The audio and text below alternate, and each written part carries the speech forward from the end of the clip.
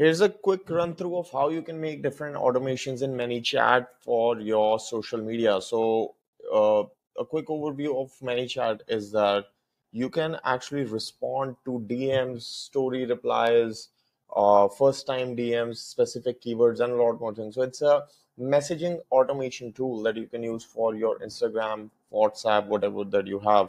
You can also try AiSensy for WhatsApp. A lot of people use that for WhatsApp you can use chatbots powered by Intercom, First Chat, Chatbase, Site GPT, many, many more things. So chatbot DM marketing is very, very important. And if you can automate this, then this is a beautiful, this is an amazing thing. So see how we have 3,900 contacts and they probably have messaged us again and again. So for example, if we convert even 10% from this, this was all automated. We did not message them anything. So you can sign up on ManyChat, you go to automations and you can make different kind of automations. We let's go to new automation let's see what different things that they have and then you can also use templates that they you know already have.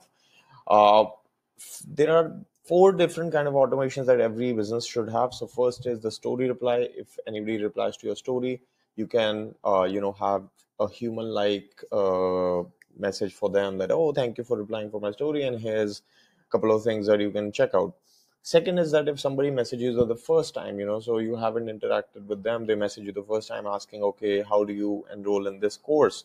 You can have a simple automation in which you give them three different options and then they can explore. Third type of automation is if someone tags you in a story and you can just say hey thanks for tagging me. How can i help you? You know blah blah blah and thank you for being an amazing customer you can also do all sorts of things with emails capture customer data all these things send them to whatsapp blah blah blah and you know many more things. So yeah you can check out all these templates whatever you think is helpful for you. Uh, in general uh, you can also just do start from scratch. You can add multiple messages too which a lot of people do. So for example if somebody comments on your reel you can specify what post or reel let's say this one we can you can also select all so let's do all and then you can add a keyword if you want to add a keyword. So if they comment something xyz you can send them uh you know a specific thing. You can also do it for all any comment and then you can uh, add multiple replies blah blah blah. And then the best thing is what message do you send? What message do you send? Uh, so you can send you know whatever hey thanks for checking this out and you can add a button you can also go above and beyond by actually uh, you know having different messages for different categories right?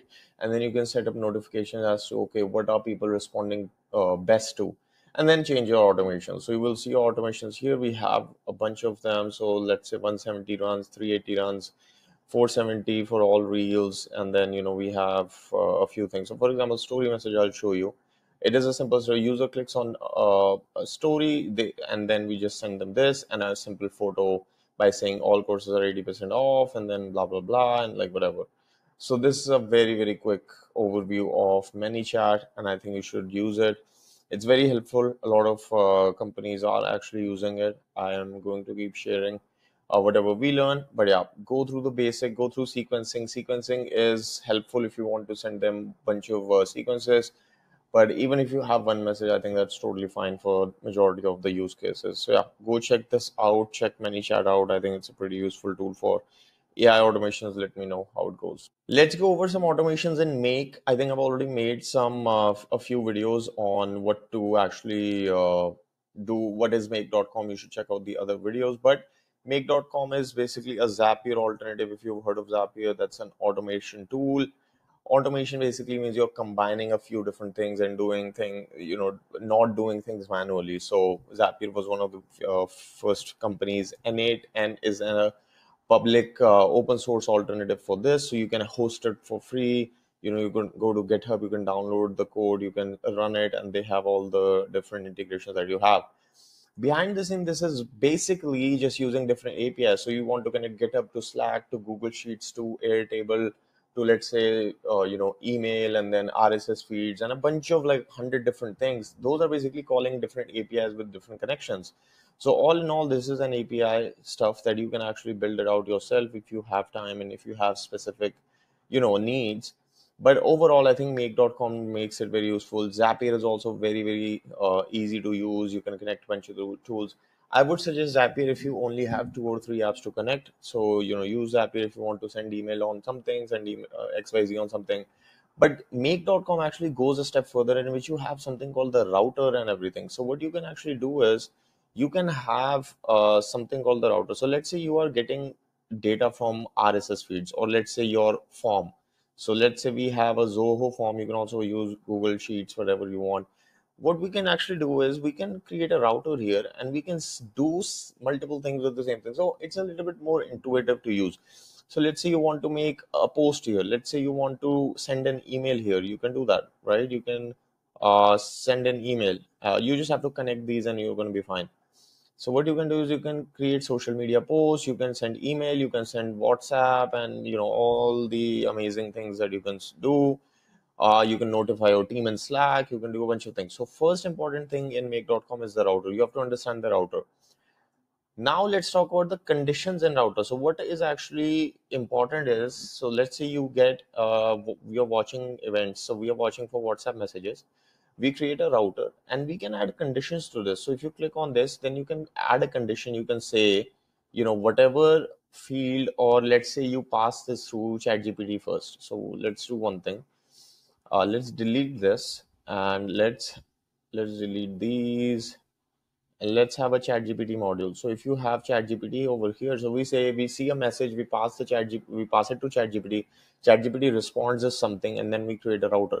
What we can do is we can add a condition which is if the result is equal to one then we want to do something.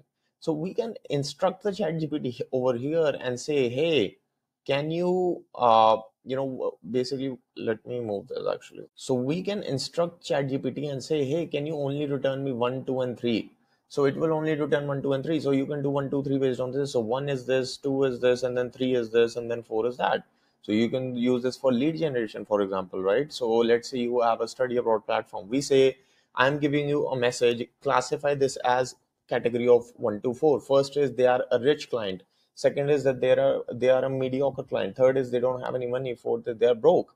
So you need to have different plans. So what it can do is it can send a personalized email. So what we can do is uh, instead of this we send an email which is you know something xyz we send an email based on one.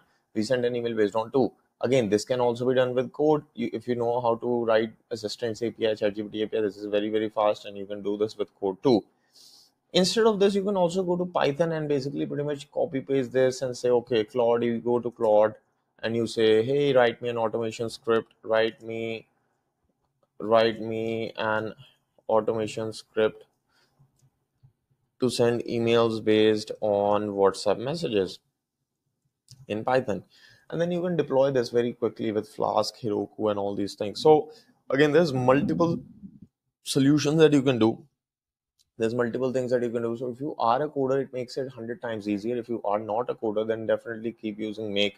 And i'm going to keep sharing all these amazing automations. So yeah this is one of the automations that i have used.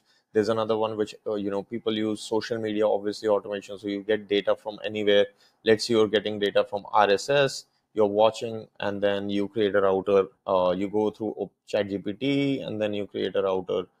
Uh, or you can create a social media or you create a router for twitter uh, so Twitter, uh, and then uh, Facebook, and blah blah blah blah blah. So yeah, there's many many different use cases. I'm gonna keep sharing uh, everything with you. Hopefully, you're gonna like it, enjoy it, and yeah, make.com for you. We're gonna talk about a lot about automations, coding, Python scripting, pretty much everything.